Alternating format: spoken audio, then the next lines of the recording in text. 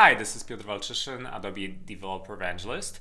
Uh, so this is the second episode from the whole series when I cover how to build uh, PhoneGap applications uh, connected to Salesforce.com. Uh, in the previous episode we covered how to uh, get you up and running quickly. So clone from the AppBoil uh, github repository uh, ready sort of sort of a boilerplate project and we launched it in the in the browser. And so now um, we'll try to create new xcode so the ios uh, project uh, and uh, well run it as a native app for the first time. Okay, so um, to get you up and running quickly, first of all, go to phonegap.com and download the latest uh, PhoneGap distribution. Once you have it downloaded, uh, you can go in and unzip it. So it's a, a, zip package, and in my case, I already have it unzipped. And in the pro in the folder where I created my and clone my www folder, I can create new one uh, called platforms, and that's the place where I'll be putting all my um, uh, platform specific uh, projects. Now, uh, in the PhoneGap, uh, so unzipped PhoneGap distribution, you can find a lib iOS uh, folder. If you go there, there's also a bin folder, and the bin folder has a create script. And create script, it's the one that we want to uh, open uh, in terminal. So let's open terminal window here and let's go into my projects, libs, phone gap, I guess, and phone gap 2.1 in my libs iOS bin. There we go. So uh, now let's use create script and create script uh, uh, has uh, three arguments, accepts uh, three arguments. The first one is uh, the path to the newly created project. So projects, in my case, Gap, Force, Demo, Platforms, and let's use iOS here.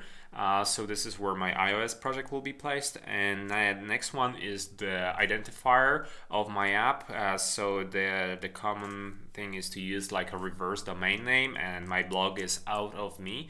Uh, so it will be reverse me out of. And next is a, a identifier of the app gap force. Let's give it gap force demo.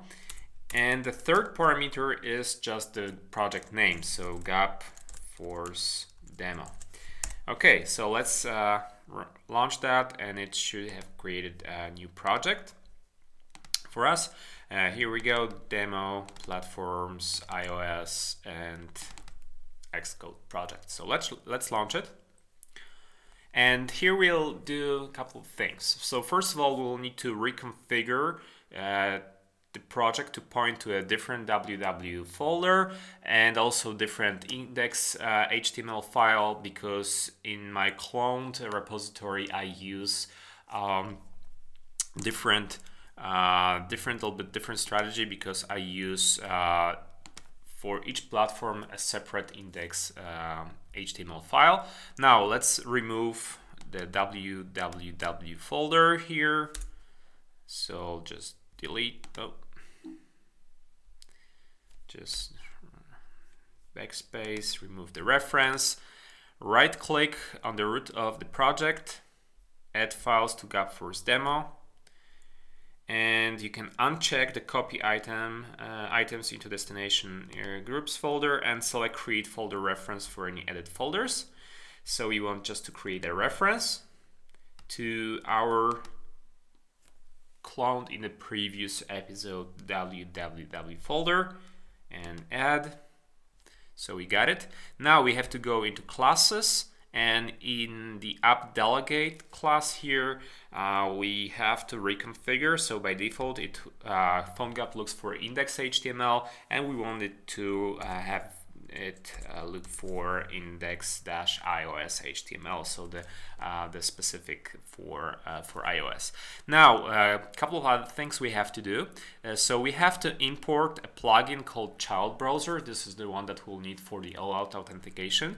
So it will pop up additional window window in the app with the form from Salesforce. So right-click on the plugins folder here, add files to GapForce demo and here you can select copy items into destination group and create groups for any edit folders.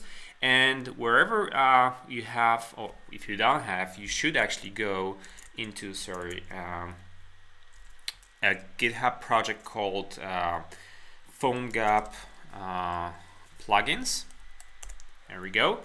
Uh, so there you'll find all kinds of plugins and the child browser is the one that we want, but what you can do, you can actually copy it and like we did uh, before, just git clone and clone it somewhere to your drive. So it will clone all the necessary plugins or some of them are unnecessary, but the one that we want is uh, in my projects, libs, uh, PhoneGap, and PhoneGap plugins iOS and uh, child browser. So that's the one we want to clone, oh, sorry, add. And child browser is here. There are a couple of things that we don't need here. So like child browser JS, this subfolder with some demos, and yeah. So let's just remove that. Uh, it's not required here. So to have the project clean. Now go to um, resources we have to register that uh, that plugin.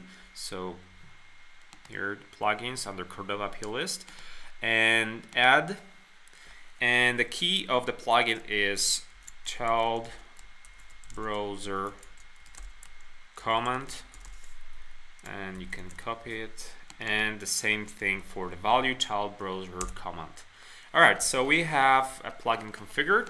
One last thing that we don't have to return here anymore, we need to add external hosts. It's like a whitelist of uh, hosts that your PhoneGap application con can connect to. So add, come on, add, there you go. And we can wildcard all the Salesforce uh, URLs or domain names and subdomains, save it. And now, well, let's try to launch it on, on our simulator here, so it'll be quicker. And well, one last thing, just reconfigure Gapforce demo.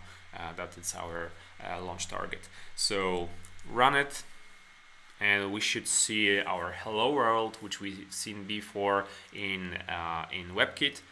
Now we should see it as uh, part of a native application.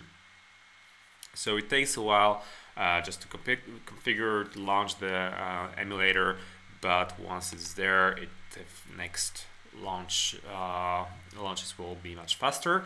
Uh, so there we go. All right, you can see there we go. We have Hello World and our uh, simple simple view. All right, so that's it in this episode. Stay tuned uh, for next one where I'll cover how to uh, connect uh, to Salesforce, so to how to authenticate the user. All right, thank you very much. Bye.